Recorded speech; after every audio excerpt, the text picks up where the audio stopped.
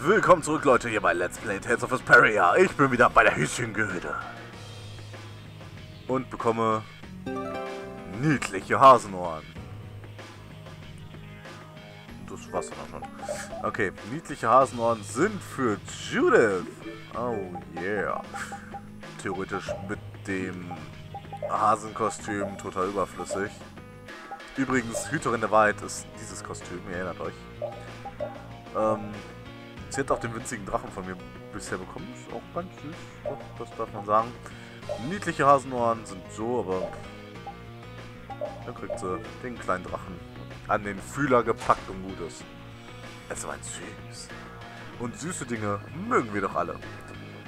Jetzt kommen wir auch zu dem Punkt, wofür ich extra ein weiteres Rezept gelernt habe für diesen netten Herrn hier. Ja, mein nehme ich an. Halt die Klappe und lass mich in Ruhe. Wir sind hier, um dich nach dem Verfahren zum Raffinieren von Immerlicht zu fragen. Immerlicht. Oh, Junge. Oh, oh, Jemine. Was hat er gesagt? Was für eine Antwort, Antwort soll das denn sein? Art von Antwort. Nicht Ant, Ant von Antwort. Willst du uns sagen, was du weißt? Das wollt ihr wirklich wissen? Soll ich euch nicht lieber die Maße der Schönheit nennen, die im Objektgeschäft arbeitet? Hm. Er stellt uns wirklich vor eine schwere Entscheidung. Menschenskind. Bevor uns überhaupt etwas erzählst, du bist doch derjenige, der Ermann heißt, oder etwa nicht? Na, jetzt hör aber auf mit diesen Formalitäten. Hey, seid ihr sicher, dass dieser alte Trottel überhaupt noch richtig im Kopf ist? Solange das hier unsere einzige Chance ist, bleibt uns ja keine andere Wahl. Ist das wirklich unsere einzige Chance? Er kommt mir ziemlich verworren vor. Wen nennst du hier verworren? Das Verworrenste, das es hier gibt, das ist deine Vorstellung von einer Frisur. Yuri, ich glaube, ich möchte lieber gehen. Komm schon, reiß dich zusammen. Hör zu, alter Mann. Wir sind hier, um dir ernsthafte Fragen zu stellen und lass endlich diese Faxen. Ernsthafter als so werde ich nicht mehr, Milchbübchen. Also gut, wir wollen von dir etwas über das Verfahren zum Raffinieren eines Metalls namens Immerlicht erfahren. Falls ihr denkt, dass ich euch so etwas gratis sage, seid ihr schief gewickelt. Und zwar schiefer als, äh, als... Schiefer als eine Wendeltreppe vielleicht. Die sind nämlich ganz schön schief. Willst du Geld? Moment mal, willst du uns nicht dazu zwingen, dich aus diesem Gefängnis zu befreien, oder? Nein, das ist nur was für Amateure. Was willst du dann? Was ich wirklich sehr gerne hätte, das wäre eine gute hausgemachte Mahlzeit. Was? Wenn ihr zu dumm seid, es beim ersten Mal zu verstehen, dass es keinen Zweck ist, noch einmal wieder zu holen. Äh, noch einmal zu wiederholen. Ob ihr es glaubt oder nicht, aber der alte Ziegenbock geht allmählich sogar mir auf die Nerven. Das genügt. Wir werden diesen alten Irren die beste Mahlzeit kochen, die er jemals gegessen hat. Einverstanden. Aber was sollen wir ihm denn kochen? Warum fragen wir nicht den, der für die Zubereitung seiner Mahlzeit zuständig ist? Also den netten Herrn hier drüben. Der alte Mann wird nie etwas Süßes essen. Ja, ich weiß. ist auch egal. Nun, was ist? Werdet ihr mal ein paar köstliche Leckerbissen zubereiten? Jawohl. Oh Junge, was ist das? Was wird es denn sein? Du musst schon warten, bis es fertig ist. Wenn es schlecht genug schmeckt, mache ich vielleicht für den Rest meines Lebens meinen Mund nicht mehr auf. Äh, wo ist es? Okonomiyaki müsste es gewesen sein, wenn ich jetzt nicht ganz Banane bin. Aber ich meine, das müsste es sein. Okonomiyaki. Bitteschön, probier das hier mal. Zeig mal her. Ich weiß nicht so recht. Von hier aus sieht es ziemlich scheußlich aus. Puh. Hat es dir geschmeckt? Was? Oh ja, ich bin satt. Zeit für ein Verdauungsschläfchen. Hey, nicht so schnell. Das ist ein netter Trick. Einfach im Stehen einzuschlafen. Was ist mit diesem Kenno los?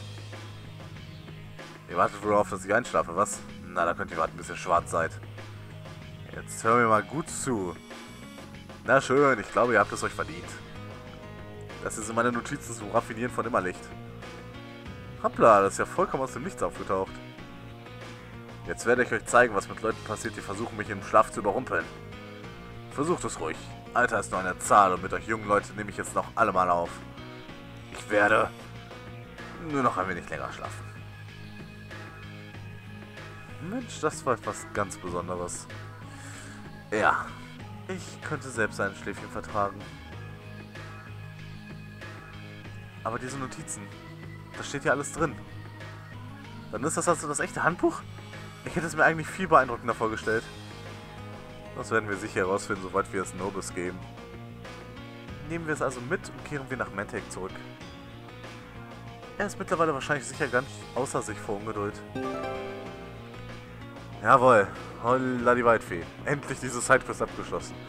Es war schlimmer als die Hunde-Sidequest, denn äh, abgesehen davon, dass sie nicht abgeschlossen ist, konnte ich das wenigstens offscreen machen. Naja gut, wir sehen uns wieder im Mantake, Leute. So, da wären wir auch wieder zurück in Mantake. Zum Abschluss dieser Quest, endlich. Oder zumindest zum baldigen Abschluss. Darfst du überhaupt schon aufstehen?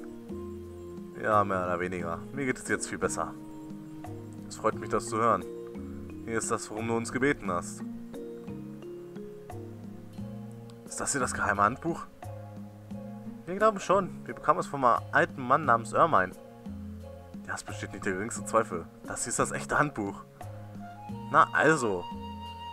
Dann hatte der alte Mann zwar ein paar Schrauben locker, aber das Buch ist echt. Damit können wir das Immerlicht von allen Unreinheiten befreien. Denkt an meine Worte. Wir werden Objekte herstellen, die sogar die Waffen der Legenden in den Schatten stellen werden. Und das wiederum bedeutet, dass die Sehenschmiede wieder auf die Beine kommen werden. Ja, endlich ist unsere Zeit angebrochen. Das haben wir nur euch zu verdanken. Vielen Dank. Ach ja, eure Bezahlung. Hurra. Falls du je wieder Hilfe brauchen solltest, kannst du dich gerne wieder an die Bravest Barrier wenden.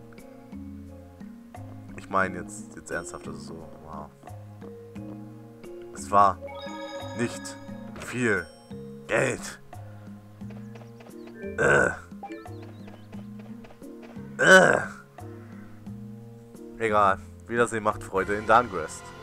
So, für eine ganz kleine Cutscene sind wir jetzt noch einmal zurückgekehrt nach Dungrest, um die Szenerie zu genießen, um die Cutscene zu sehen. Was ist Cutscene? Naja, das Event zu betrachten. I didn't really think about it before we started taking on these jobs, but keeping a guild going is really tough. What's with the deep thoughts all of a sudden? Well, I mean, it's pretty obvious why we started taking on work in the first place. Because we like seeing people smile? But what happens if we help out the wrong people? Or end up doing more harm than good? Then we'd be getting the total opposite results of what we set out to do. Yeah, but take that guy, Novus, right? He looked pretty happy in the end. I hope they can restart their guild now that everything is finished. And the man from Ruin's Gate was pretty excited when we returned his shovel. A little too excited, if you ask me. I mean, it's a shovel. Some people, like Mimula, will try to use us for the wrong reasons too, though. You always have to watch the good, the bad, even the ugly sometimes. That's what guilds do. I just wish we could take a pass on the bad and the ugly. We just need to stand up to those things when we come across them. Everybody's born with a bad side. That's not so. There is something beautiful in the core of each and every person. We may have to try harder to see it in people who do things they shouldn't. Peace, love, and understanding, huh? Don't make fun of me. Bad people always have reasons for what they do. Actually, Your Highness, I beg to differ with you on that point. Anyway, goals are important, but you don't always have to achieve them. Maybe you're right. If everyone's happy where they are, who cares if it's not the goal they were going for? Even if that means failing sometimes? You cut your losses and move on to whatever's next. Even if you wind up naked in the street, you're not finished as long as you're still breathing. Huh? Naked? Did our lovely Judith here just say something about getting naked? Down, boy, down. Well, Yuri, are you on Raven's side or mine? Hold on. When did we start choosing sides? What's so tough about this? You just have to learn from your mistakes. That's the basis for any kind of learning. Rita. For starters, just try to enjoy the ride a bit more, like these clowns do. Yeah, I will. Gut, es war wenigstens tiefsinnig. Okay, damit haben wir die Immerlicht-Quest auch abgeschlossen. Sie liegt hinter uns. Das heißt für mich jetzt nur noch paar Titel einsammeln etc. pp. Cutscenes ansehen. Ihr wisst schon, das gute Zeug geben. In Mioso. Habe ich gesagt Mioso? Ich meinte natürlich nicht Mioso. Nein, ich meinte Orion, äh, Orion, weil mir so das, was ich machen will, noch nicht geht. Ist das auch ein Barriereblastier? Es ist nicht aktiviert, aber auch wenn es nicht funktioniert, vielleicht sollten sie es als Symbol für den Schutz der Stadt hier lassen? Ich glaube, ich hab's verstanden. Oh, was hast du verstanden? Warum ich Blastia mag? Für mich sind Blastia wie Geschwister. Geschwister? Ich wuchs ohne Vater auf und meine Mutter starb auch, als ich noch klein war. Aber die Blastia waren immer bei mir, auch wenn sonst niemand da war. Was meintest du also mit Geschwistern? Klingt nachvollziehbar. Und meine Blastia-Kenntnisse entwickelten sich und wuchsen gemeinsam mit mir. Vielleicht fühlte ich mich deshalb mit ihnen verbunden und regte mich so auf, wenn sie kaputt gingen. Aber bald werde ich mich von all diesen Blastiern verabschieden müssen. Geschwister, könnte ich nicht ewig begleiten. Irgendwann musst du auch ohne sie zurechtkommen. Irgendwann sagst du? Wenn du jemanden triffst, der noch wichtiger für dich ist. Aber nur weil du getrennt von ihnen bist, bedeutet das nicht, dass diese wichtige Verbindung nicht mehr besteht. Vielleicht habt ihr recht. Nur weil ihr getrennt seid, musst du nicht unbedingt vergessen, wie wichtig sie dir sind oder wie sehr du sie liebst.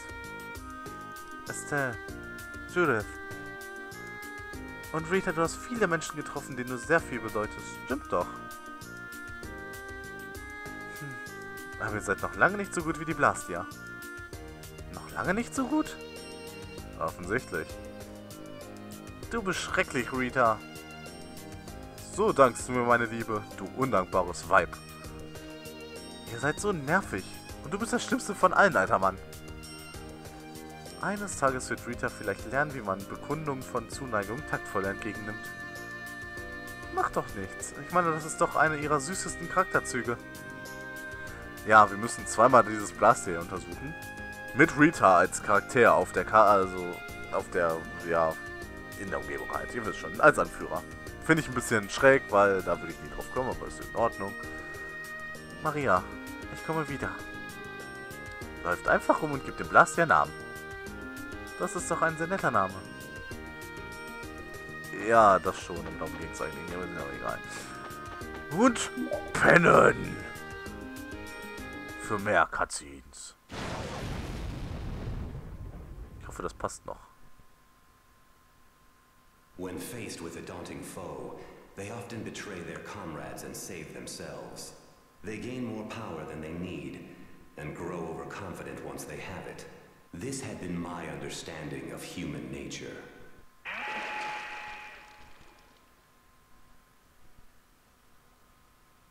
Humans are quite interesting. They become distrustful once betrayed. One moment they may slander a friend, and the next be moved to feelings of love. Their hearts may grow more compassionate or be lost to depravity.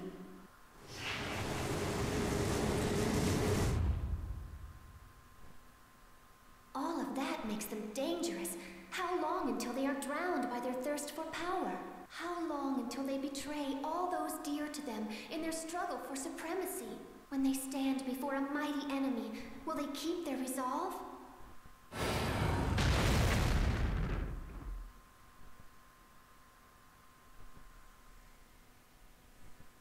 Do you not believe in them, Sylph? I wished only to convey the delicacy of the situation. Should they ever become too great a nuisance, we need only burn them to the ground. It seems that the conversion to spirit form has not tempered our leader's fiery wrath. Nor has there been any change in the optimism that so characterized you, Undine. And you remain every bit as cautious and careful as you ever were. Has not that fear kept you in constant concern over the catastrophe in the sky? It was all the Entelecheia and humans could do to seal it away 1,000 years ago. The humans have said that as spirits we possess the power to defeat it. However, Say no more. Speaking it out loud will only further increase your worry. We are a new power that will form the cornerstone of this world. The Arephagos is nothing. Okay, es wird nicht ganz passen. Also beim nächsten Mal, Leute, mehr Cutscenes in Onion.